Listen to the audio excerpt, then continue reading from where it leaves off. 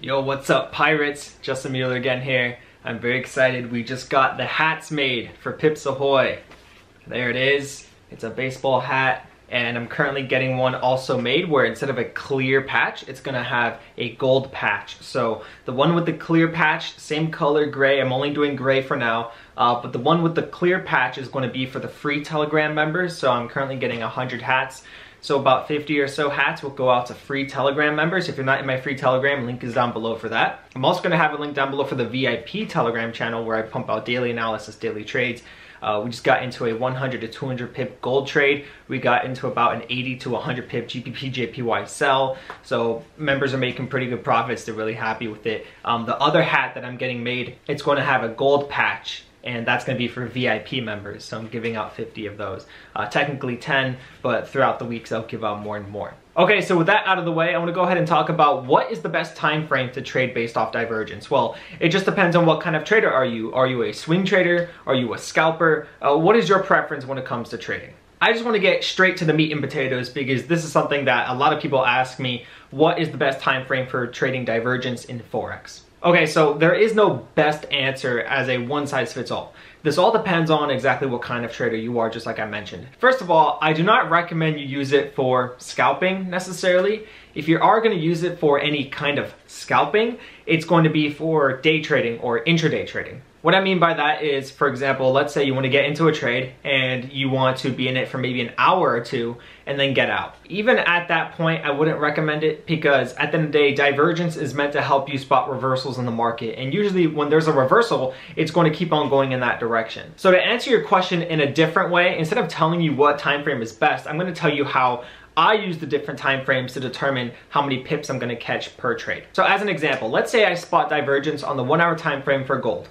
What I'm gonna do is I'm usually going to place a take profit anywhere between 50 to, 50 to 60 pips if I'm on the one hour time frame. Now that doesn't just apply to gold, I'm just using that as a random example. It could be any Forex pair or any commodity. I'm going to use about 50 pips as my average take profit if I'm spotting divergence, if I have a good setup on the one hour time frame. Now on the four hour time frame, if I spot divergence, if I have a good setup, if you're in my VIP Telegram channel, I do have a checklist for you to go over before getting into a trade. Does it hit this criteria? Does it hit this criteria? And the more criteria that it lines up with, the higher the confirmation for a great trade. Now, when it comes to the four hour time frame, I try to go for a minimum, a minimum of 100 pips. That's a really good uh, trade to hold for the entire day. So there are times where in the morning I spot divergence from four hour time frame, it hits a trend line, all these you know confirmations line up. I place a buy or I place a sell depending on what the trade is. And by the end of the day, at night before I go to bed, maybe it hits my take profit. Sometimes it takes a few days, maybe it takes a few hours, just depends on how volatile the market is. But for the one hour time frame, I go for a minimum of 50 to 60 pips. And for the four hour time frame, I try to go for a minimum of 100 pips for a take profit. Now, when it comes to the daily time frame, now this is where you're really gonna get into big swing trades. We're talking about 200, maybe 300 pips, depending on what type of trading pair you are trading. In this case, if you're trading a pair that's very volatile, such as gold, GBP JPY, GBP USD, any pair that's very volatile in the market,